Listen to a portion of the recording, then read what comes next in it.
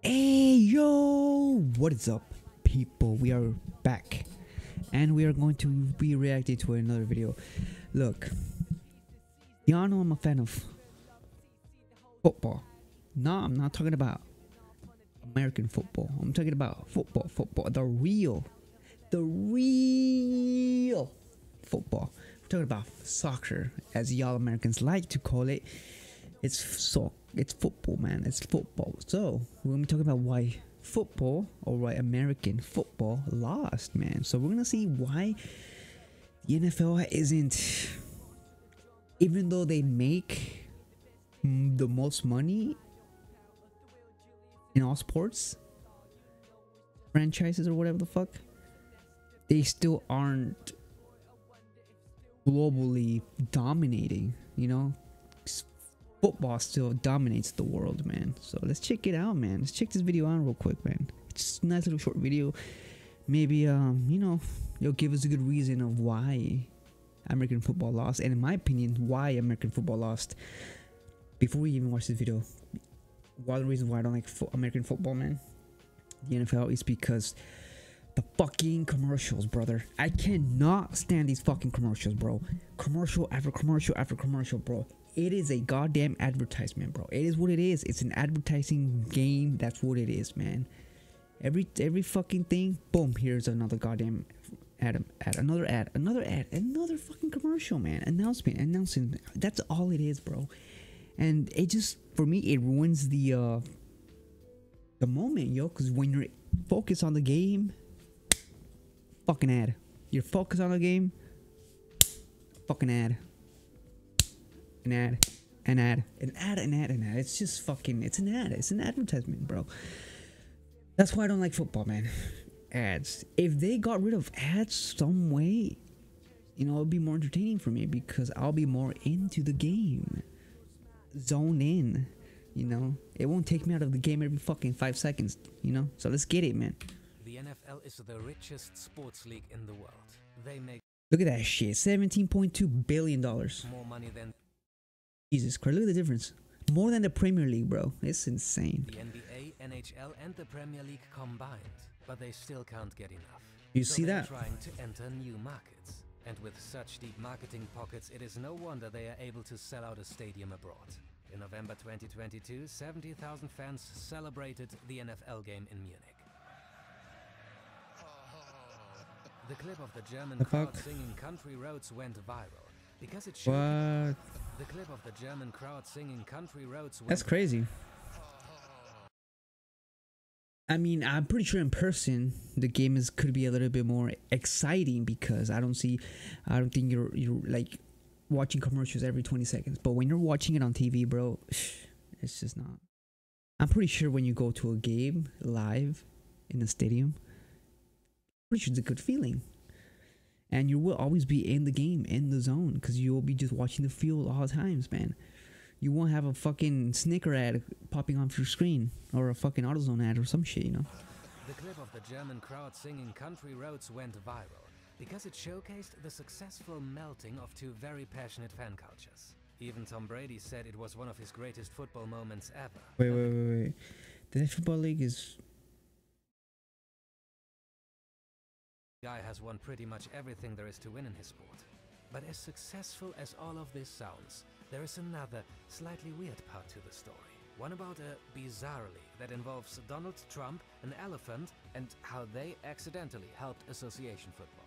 Welcome to Athletic Interest and how the NFL failed in Europe. interesting. American Okay. football has one big problem. There is a seven month break between the Super Bowl and the beginning Holy fuck. A seventh month break? Yeah, there it is, bro. Another issue. I mean, what? Seven month break, dude? That's fucking insane, dog. Seven month break? You compare that to fucking football, bro. There's literally like, what, like two months? Or a month or two months, I think, of, of like. It's not even two months because there's you still gotta do, you know, um, pre games. You gotta do uh, tours. On tours and uh, preseason. You know what I'm saying? Preseason. So of the next season. It's the biggest gap without any matches in all of the US sports. So the NFL and TV broadcasters saw an opportunity to host more games in the spring. In the late 80s, they agreed on expanding to Europe. By bringing their product to a new market, the NFL hoped for a lot of new fans and cash. It was a very lucrative time to enter the market. European football was nowhere near as big as it is today, and a huge market was up for grabs. They were also hoping to create a farm league to develop talents. But the project got off to a rough start. It was even difficult to find a name, and the NFL can blame Donald Trump. He had acquired rights to the name International Football League, the preferred choice of the NFL.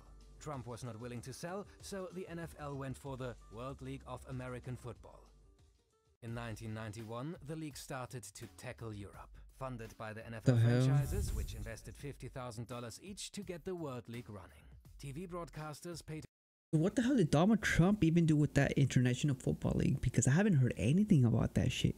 He literally just took out, just took the name or whatever, and just didn't even give it back. He could have sold it. He could have literally sold that shit for a good amount of money, bro. If he's not gonna use it and just sitting there, he could have just given the name, bro. Back in the eighties or whatever. More than $25 million for the first season, and probably none of them ever saw their money again. Although the World League had a promising start. An average of 25,000 people attended the first games, but the hype didn't last long. The TV ratings were miserable, the league made a huge loss, and after the second season, the NFL decided to close it. But giving up was not an option. After two years of brainstorming and rebranding, the World League came back, with a narrower focus on Europe. The NFL then tried some really weird things to gain traction. For example, they decided to let an elephant, an animal neither native in the US nor in Europe, present the league's trophy. What the Tailgate fuck? That's so weird. attracted more people than the actual games, and the cheerleaders were bigger stars than the players. I bet, man. The league again, first as NFL Europe League, later as NFL Europa, didn't do much besides proving the lack NFL Europa. of vision by the NFL. The project was burning $30 million a year, almost half a billion in total. God so damn. eventually, the NFL pulled the plug. The two reasons why the league was originally founded. Bro it's just i don't know i don't know man. It's just a lot of people in europe bro it's, it's hard bro. I just don't think you'll be able to break into europe bro. I just don't think it's possible. Because football is so big over there the seasons are long and it's just it's just a beautiful game man. Football is just an amazing fucking game bro. You know 90 minutes of action bro. 45 each half. 90 minutes of just action. The long run. There are good examples of NFL players who started their careers in Europe before successfully returning to the US and eventually winning the Super Bowl. oh shit. That's what i'm talking about But overall, it wasn't easy to sell a minor league without the sport's biggest stars. Besides the lack of vision, there was simply a lack of quality. The games were never near the quality of the NFL, and viewers quickly realized that and shifted their focus to watching the real NFL instead of the less exciting European sister league. It's like trying to convince your friend to watch an MLS game instead of El Clasico. Tough. The NFL learned its lesson. Instead of trying to sell a cheap copy, they started selling the real thing. The same year that the NFL Europa folded forever, their big sister NFL started to play regular season matches abroad. First in London, then in Toronto, Mexico City, and in 2022 in Munich. yeah i remember this. I remember when they went to that azteca. Wow that's 2017 feels so fuck dude this shit feels so recent. It wasn't 2017 what? I remember this one right here in mexico they ruined the fucking field but it is what it is While England, Canada, and Mexico are logical fits in terms of language and geography, Germany is no obvious choice at first sight. It's neither a direct neighbor nor does it share the language. So why Germany? After the Second World War, Germany was divided into four sectors, including one American.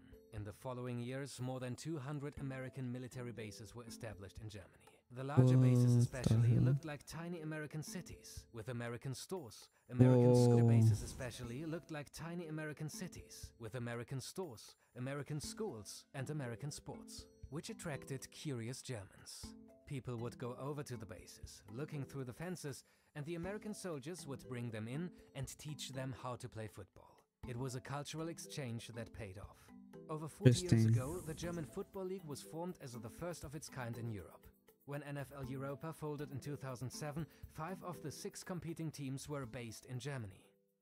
All this set the groundwork for the biggest American football spectacle so far on German soil. Oh, The Allianz Arena. game in 2022. The organizers received 3 million ticket requests, enough to fill the Allianz Arena more than 40 times. A recent study revealed American football as the second most watched sport in Germany, only behind reigning king football. Also thanks to these three guys and their TV show, they popularized American football in Germany, providing expert analysis on TV and online, but also by never getting tired of explaining the game to new audiences. It is a great example of what the NFL got wrong in the first place. American football can be very confusing. Sebastian Vollmer won the Super Bowl, but was quoted that even after two years of playing the game, he didn't know all the rules. So instead of trying to make the game more interesting with elephants and cheerleaders, it's better to focus on explaining the beauty of it to new viewers. Takes more time, but has a higher Um, yeah. The NFL certainly Yeah, I think that's more interesting, bro. If you learn more about the game, I mean, it's a lot better than just, you know. Yeah, that's actually, they should have done that in the first place instead of putting some fucking elephants over here and, you know, putting some cheerleaders. Do you know what I'm saying? If people understand the game more, they will enjoy more because that's one of the big reasons why people don't don't like don't like the NFL because they have no idea about the rule books or the rules or anything, you know. And they don't like to um and there's a lot of people who just don't like to go and research about, you know, football or just something new. So why don't you just bring all the knowledge about football to them? And where do you do that? On TV, man. He understood that point and started promoting flag football as an easy and more I remember, oh man, I used to play flag football, bro. I was fucking horrendous at flag football, bro. more approachable version for kids and fans to get in touch with the game. With the Olympics in LA in 2028 and the NFL pushing hard for flag football to become an Olympic sport, this strategy could turn out to be a masterstroke. The second challenge that I mean, flag football sounds fun, bro. It sounds, to be honest, sounds more fun than getting your head smashed and getting concussions, you know, and uh, having brain damage. And the All NFL that. faces in its competition with other sports, a lack of international stars. Just think That is Yao true. Ming did for the popularity of the NBA in China. But the NFL also has a master plan for that problem. The International Player Pathway Program. The main objective of this program is to increase the pool of talented international players and to ultimately increase the global popularity of American football. It was established in 2017 and has seen success in placing international athletes in NFL practice squads with several players earning promotions to active rosters. It looks like the NFL has learned its lesson. There are already more games confirmed to take place in Germany, and there is even That's nice. That's good, I mean. franchise permanently to London. Arguably a huge market, but also a city with plenty of very established football clubs already, which brings up a major question. In today's globalized world, it might ultimately come to a battle between American and association football for the hearts and cash of the fans. Both I mean, I wish him the best. Breaking into that London market, bro. It's going to be tough, man. It's going to be tough trying to break that London market with getting, you know, all the other, you know, London based football teams in there. Fulham, Brentford, you know, Chelsea, Arsenal, and who else is in there? Crystal Palace. I think Crystal Palace is in there too. would be well advised to pay attention not only to the money, but also to how to sustainably grow the sports entrusted to them. In the end, the fans will make the vote.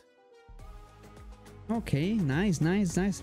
Well, there you go, man. Um, good information there, and some good reasons why America, American football, took forever to be popular, and it's still tough over there in London. But if you put it in Germany, I mean, you could do it in uh, another places in Europe. That's for sure, man. But yeah, there you go. There you guys have it. American football lost, and you already know my reason why I don't watch football. Commercials, commercials. Anyways, let me know what you guys, what you think, what you guys thought, and do you guys think that American football will it be able to break fully into a market in other than the US, and will it be able to make a completely different, like make it move a franchise over to a different country. I mean, I wish him the best, but that's gonna be tough. They should probably do it somewhere else that is not in London because London is tough. But yeah, man. Peace out. Comment, like, subscribe, and